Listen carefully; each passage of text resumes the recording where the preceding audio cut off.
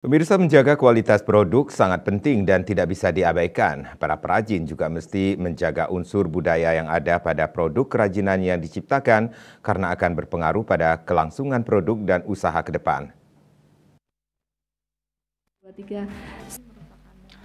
Hal tersebut diungkapkan oleh penjabat Ketua Dewan Kerajinan Nasional Daerah Dekranasda Bali Nyonya Ida Mahendra Jaya saat menutup pameran IKM Bali Bangkit tahap 7 tahun 2023 beberapa waktu lalu.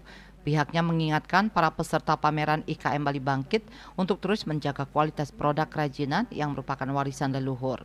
Menurutnya, berkreasi dan berinovasi sangat diperlukan, namun jangan sekali-sekali mengabaikan kualitas dan budaya yang terkandung di dalamnya. Nyonya Ida Mahendra Jaya melanjutkan kerajinan asli Bali mulai kain tenun, perak, ukiran batu hingga kayu memiliki ciri khas tersendiri dan bernafaskan kebudayaan Bali serta mempunyai kualitas yang tidak perlu diragukan lagi. Jangan pernah meninggalkan itu dengan menjual produk tiruan. Jika hal itu dilakukan pelan namun pasti kerajinan khas Bali akan mulai ketinggalan identitasnya. Hadirin yang berbahagia, sebagai penjabat Ketua Dekranasda Provinsi Bali yang baru menjabat, hari ini merupakan momen yang bersejarah bagi saya.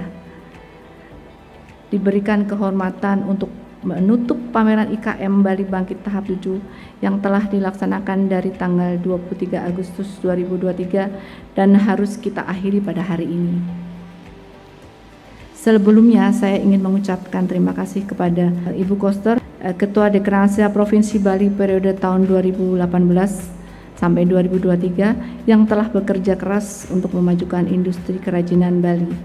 Saya merasa terinspirasi oleh dedikasi dan kerja keras beliau beserta jajaran pengurus Dekranasda Provinsi Bali.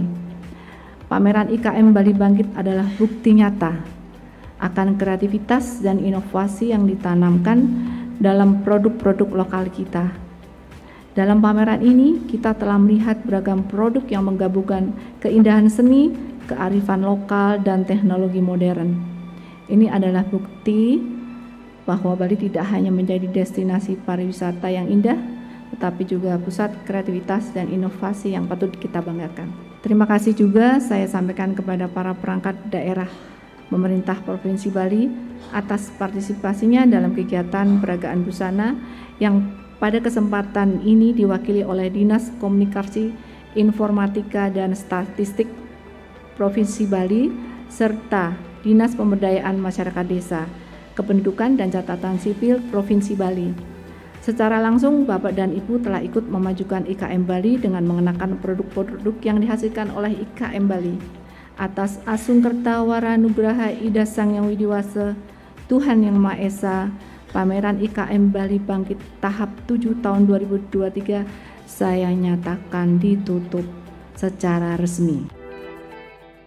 Lebih lanjut dikatakannya, pameran IKM Bali Bangkit adalah bukti nyata akan kreativitas dan inovasi yang ditanamkan dalam produk-produk lokal. Pameran ini memperlihatkan beragam produk yang menggabungkan keindahan seni, kearifan lokal, dan teknologi modern.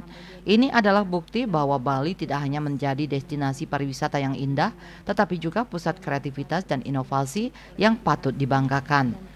Dalam kesempatan tersebut, pihaknya juga menyampaikan terima kasih kepada Nyonya Putri Swastini Koster, Ketua Dekranasda Provinsi Bali periode 2018-2023 yang telah bekerja keras untuk memajukan industri kerajinan Bali.